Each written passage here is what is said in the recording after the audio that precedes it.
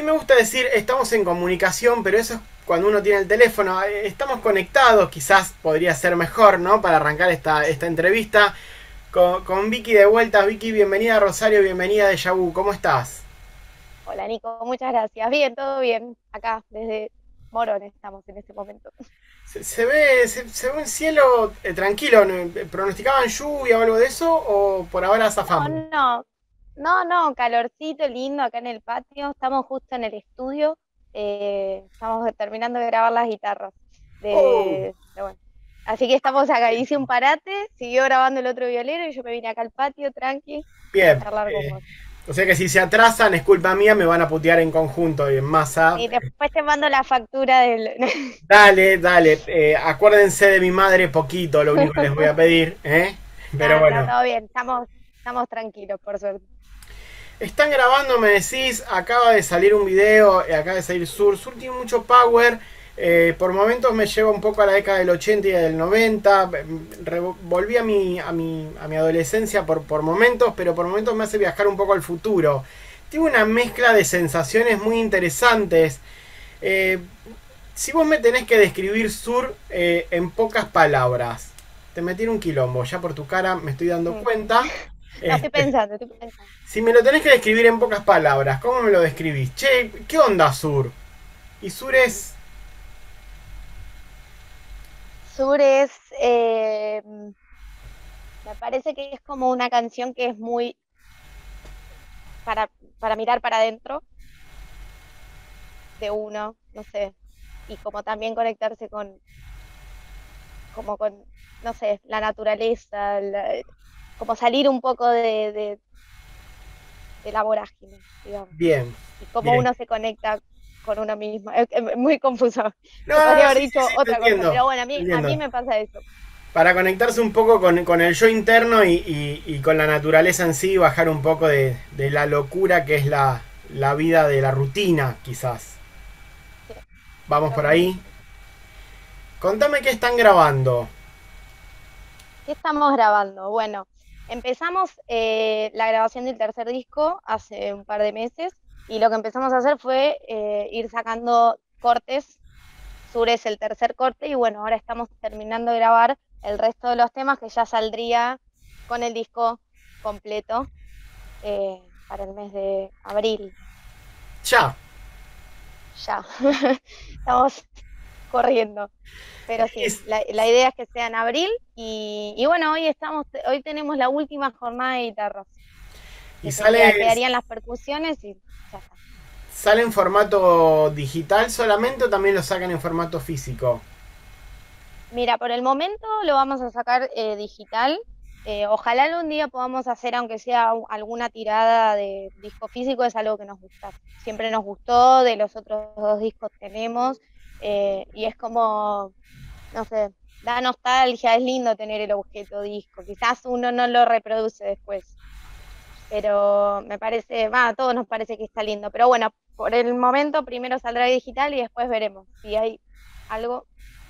Hablando, hablando de, sacar discos y, los formatos, eh, ¿en qué formato te gusta escuchar música? Que te, que te guste, eh, te hago, te hago la separación. Una cosa es que te guste, otra cosa es que lo hagas. Son, son dos cosas diferentes. Mira, de bueno, cuando era chica, CD, era época CD, así que me gustaba tipo agarrar. Mis viejos tenían toda una colección de CDs gigante, entonces iba y me sentaba y ponía, escuchaba. Así. Y ahora, bueno, escucho por Spotify. Pero también disco, disco entero. Bien. Disco entero y después tengo algunas playlists que me hago yo misma, como con estados de ánimo, cosas que a mí me gustan y voy agregando, o tengo una lista que se llama Tranca, por ejemplo, y ahí voy tirando canciones que voy escuchando por ahí y hago, cuando quiero estar tranca, escucho mi lista Tranca.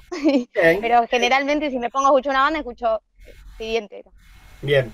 Me dijiste que tus viejos tenían una, una discografía así importante en una pared, me imagino una pared completa de techo a piso. Y me diste pie un poco a una pregunta que yo soy muy recurrente en hacerla. Este, porque me interesa, primero porque me interesa y segundo porque eh, soy un convencido de lo que te voy a decir ahora. que es la música que uno escucha de chico por obligación mayormente, porque los padres por ahí cuando uno es chico ponen lo que quieren escuchar y uno no puede mucho zapatear, este, en algún momento nos, marca eh, desde alguna perspectiva, algunos desde la música, otros desde la nostalgia, pero siempre eh, eh, alguna que otra canción que se escucha por ahí después de grande y dice, puta, esto lo escuchaba mi viejo cuando yo era... ¿Qué se escuchaba en tu casa cuando eras chica? ¿Qué escuchaban tus viejos? ¿Te acordás? Sí, re. bueno, mi vieja muy, rockera, muy fan de Charlie, de Ceru Girán, de Sui Generis, como eso. O sea, el disco Vida de, de, Sui Generis es como que lo tengo de memoria todo el tiempo y después, bueno, uno va eh, conociendo y después ya lo escuchás por, gusto propio.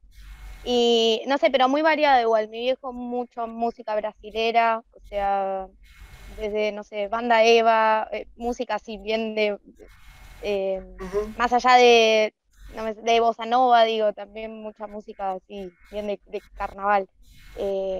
no sé, pero realmente de todo. De acá, nacional, todo. Me decías que sos de la, época. Torre, no sé, todo. Sí, sí, sí, sí. Copado, una variedad bastante interesante.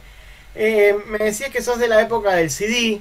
Eh, ¿Te acordás cuál fue el primer CD que te compraste sola? Que fuiste a la disquería y dijiste, me voy a comprar este. Sí, Descarado de la Vela Puerta. Qué buen disco. Qué buen disco. ¿Lo tenés todavía o.? Sí, o murió, murió rayado, porque viste que esos discos giran y giran. No sé si lo pongo ahora, si estará rayado, lo tengo. Tengo en mi casa también como mi colección personal de CDs, que fui juntando, eh, y la de mi pareja, y ahí tenemos todo. Aunque no se escuchen, digo, están ahí saliendo ver los libritos, quién compuso cada canción, como que esas cosas te vas enterando de, leer el librito, sí. Todo eso. Dónde se masterizó, qué sé yo, viste, después si te empieza a interesar eso, ah, mira. Vicky, Vueltas tiene 10 años de trayectorias, ¿no? Sí. Bueno, vamos, vamos a meternos un poco en la historia de la banda. Lo primero que te quiero preguntar es, ¿por qué el nombre? ¿Por qué el nombre? Ahí son esas cosas, siempre hablamos de esto y decimos, al principio lo ponés, te encanta, después lo odias y después decís, Sí, lo quiero, está bien. Ya, le pegamos la vuelta. Ya está. Eh, ¿Por qué el nombre? Y primero nos llamábamos de otra manera. Era y, de vuelta, nos íbamos a llamar. Y no sé, había una banda ya que se llamaba así, entonces bueno, pensábamos, dijimos, bueno, cambiemos.